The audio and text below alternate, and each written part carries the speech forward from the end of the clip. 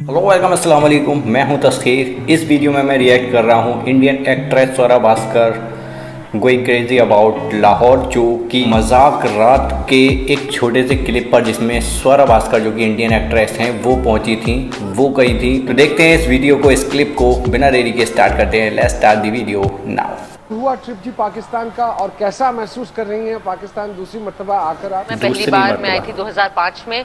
आ, मैं और मेरी एक फ्रेंड हम लोग कॉलेज में थे। कॉलेज शायद जस्ट ख़त्म किया था और आ, उसको नौकरी से निकाल दिया था और मुझे नौकरी नहीं मिल रही थी। तो तो हमें समझ नहीं आया क्या करें? तो एक दिन हम बैठे थे साथ में बहुत ही परेशान बोर हो रहे थे। हमने कहा क्या करें? दुश्मन देश चलते हैं। दुश्मन तो देश। हाँ अच्छा आइडिया है दुश्मन देश चलते हैं। तो हमने कुछ जुगाड़ लगाया। मेरे फादर से नेवी में थे। तो उस टाइम उनके पाकिस्तानी हाई कमीशन में अच्छे ताल्लुकात थे।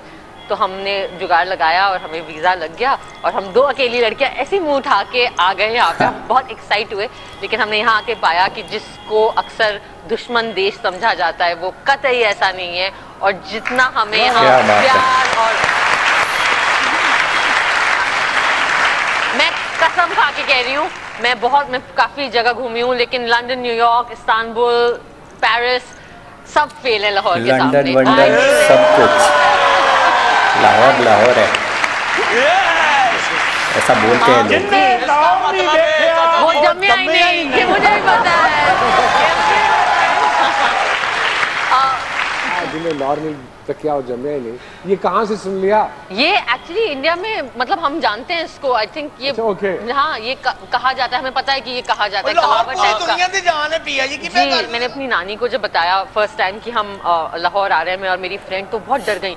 तो वो तो अरे क्या मतलब है इन बातों का वो यूपी की है तो बेहतर है क्या करती रहती हो तो ऐसे कैसे जा सकती हो इस टाइम तो वो बेचारी दो महीने से हनुमान चालीसा पढ़ रही थी पहले से हमारी ट्रिप की पहले से और किसी को बताना मत इंडिया अच्छा। से। वो ये वो हम आए यहाँ अनारकली मार्केट में घुसे और अच्छा। करते करते किसी ने पूछा कि आपकी जबान यहाँ की नहीं लग रही है वो तो हमने हम हम करते बताया वो दिल्ली से आए इंडिया से आए ओ चाय लाओ समोसे लाओ ठंडा लाओ।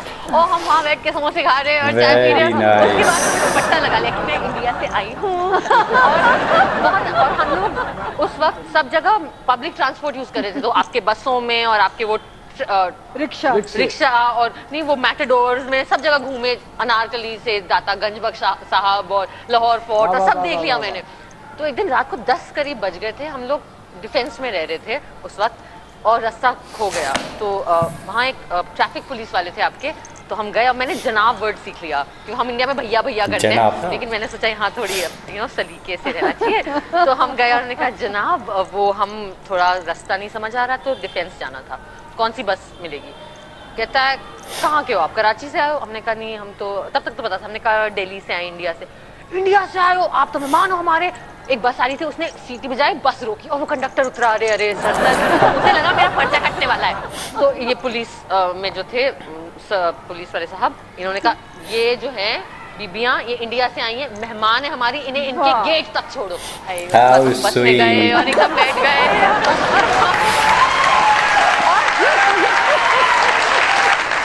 इतने स्वीट किस्से इन्होंने बताए अपने मतलब अपना एक्सपीरियंस शेयर किया स्वरा भास्कर ने पाकिस्तान का लाहौर का।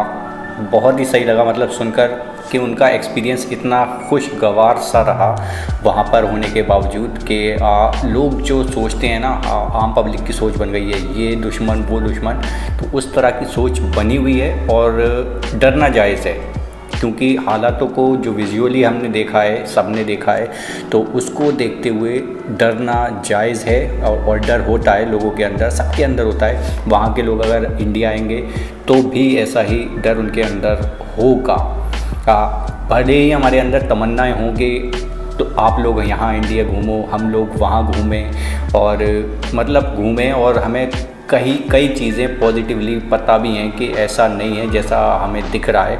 आ, आम पब्लिक मोस्टली पब्लिक जो है वो वेलकम करेगी यहाँ की हो चाहे वहाँ की हो ऐसा हमें पता है उसके बावजूद भी डर रहता है कुछ चीज़ों से। इनका एक्सपीरियंस सुनने के बाद जैसे कि इन्होंने दादी का बताया अपनी दादी नानी जो भी है उनका बताया कि वो डर रही थी और हनुमान चालीसा एक आ, मंत्र होता है आ, जो आ, हिम्मत के लिए और सेफ्टी के लिए पढ़ा जाता है हिंदूज़ में और मुस्लिम्स में जो हम सूरतें वगैरह पढ़ते हैं। फनी अंदाज में बताई लेकिन पॉजिटिव चीज़ें बताई मुझे बहुत स्वीट सा लगा सुनकर कि ऐसे ऐसे वहाँ पर खातिरदारी हुई स्वरा भास्कर की।